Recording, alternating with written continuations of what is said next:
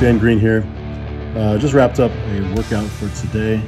Today was a uh, deadlift day, and today was the first day I was really getting prepared. A little announcement, as some of you guys already know. The Animal Cage is coming back for the uh, Arnold Sports Festival in March of 2024, and I'm going to be lifting in that. Um, planning to do some deadlifting. So today's workout was very interesting. It's the first time I really touched any weights in about a month. I've been kind of taking it easy for a little bit. But today I did some sumo deadlifts. Uh, I wasn't really sure what I would work up to, just kind of see, seeing how it would feel. But as I started to warm up, everything was feeling really good. And as I was warming up, I just kept feeling pretty good. Like I didn't really need my belt. My form felt really locked in. So that was all pretty good. I felt like my grip was solid. My back felt amazingly good. And the weights were moving pretty well.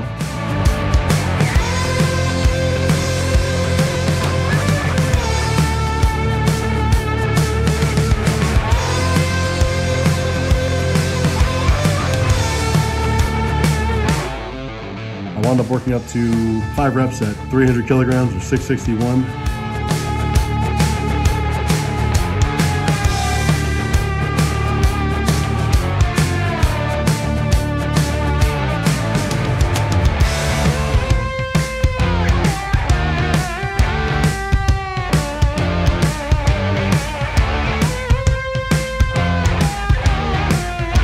I wound up pulling all the reps with no belt, and then I did 705 for five without the belt from just a one and a half inch mat.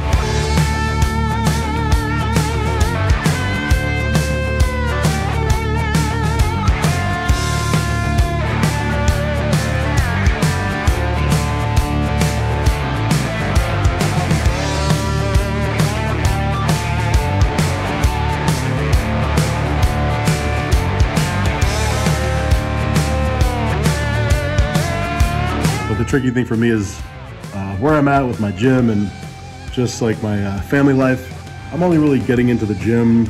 I really only have the chance to probably train like two or three times a week. I'm kind of excited, but I think I'm just gonna be doing only deadlift days at this point. I might throw in some squat days, but they'll have to be piggybacked with some deadlifting. I think I'm gonna minimize some of the accessory training, bench training. With sumos, I don't really need to go as hard on the lats, so I'm thinking I'll be able to just really focus on maybe a little on the hamstrings and the abs, and just get a lot of uh, sumo pulls twice a week at least. I did three reps of standing ab wheel.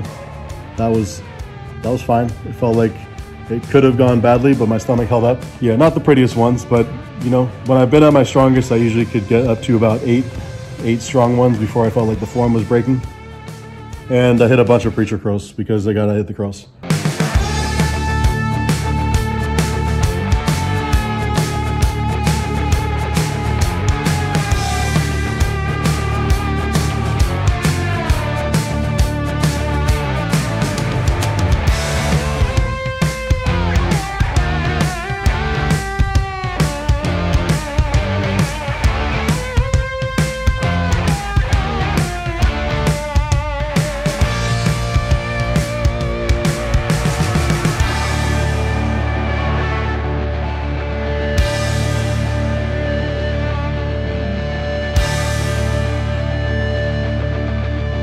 So that's just the announcement for where I'm at today.